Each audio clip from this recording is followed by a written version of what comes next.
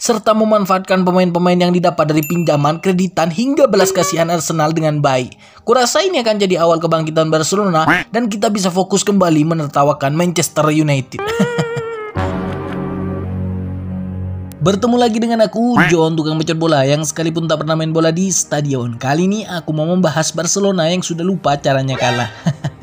Barcelona sudah 6 pertandingan tak terkalahkan secara beruntun dan juga 10 pertandingan liga tanpa sekalipun mencicipi apa itu kekalahan.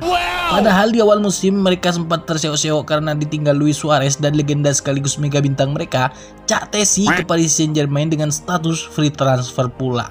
Bukan hanya itu, kabar kebangkrutan Barcelona menggema ke mana-mana seolah-olah tim ini sudah mau bangkrut. Akan tetapi bisa dibilang Barcelona yang sekarang bukanlah Barcelona pada awal musim. Jika bisa dihitung dengan angka, aku bilang Barcelona sekarang ada di rating 60. Sedangkan awal musim ratingnya cuma 20. Itu pun karena ada Bradwaite, kalau tak ada baru 40. Memang kalau ada dia kekuatan Barcelona bertambah, tambah berkurang.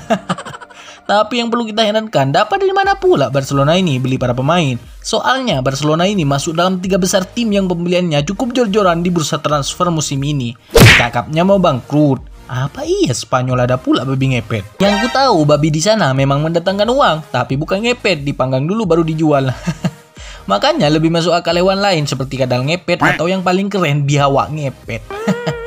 Jadi aku pun bingung kayak mana Barcelona ini masih bisa survive hingga saat ini dengan uang yang pas-pasan bahkan kabarnya hutang di mana-mana. Tapi usut punya usut Barcelona ini mendatangkan pemain-pemain terbaik yang diinginkan Safi dengan kredit pinjaman serta belas kasihan Arsenal. Ya, Barcelona menjadi tim yang paling sibuk dalam bursa transfer pertengahan musim ini. Total mereka sukses memboyong 4 pemain dan tiga di antaranya adalah pemain depan dari tim-tim besar di Liga Inggris. Yang pertama adalah Ferran Torres. Dia adalah salah satu pemain muda potensial meskipun penampilannya di Barcelona belum terlalu spesial, tapi nyatanya pola permainan Barca bisa dia praktekkan dengan baik. Dia dibeli 40 juta euro dari Manchester City, itu pun dikredit selama beberapa tahun dengan jaminan BPKB bis Barcelona.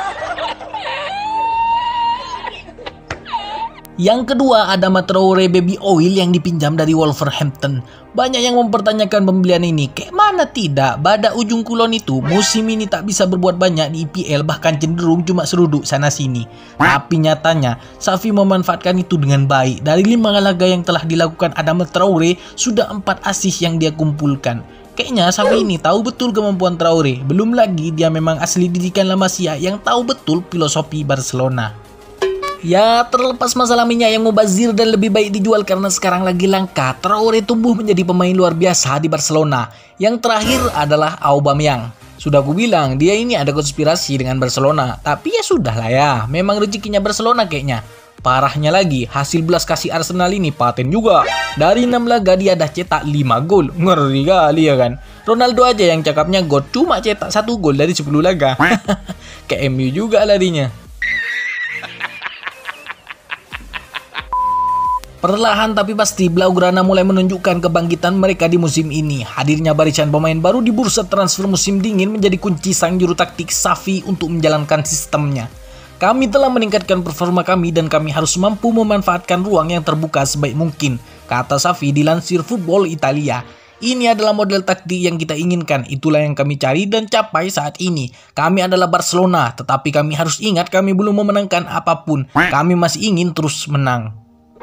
Video ini juga menandakan bahwa Barcelona dah tak bisa kita jadikan bahan lelucon ya kan. Safi menurutku berhasil meracik kembali tiki taka khas Barcelona serta memanfaatkan pemain-pemain yang didapat dari pinjaman, kreditan hingga belas kasihan Arsenal dengan baik.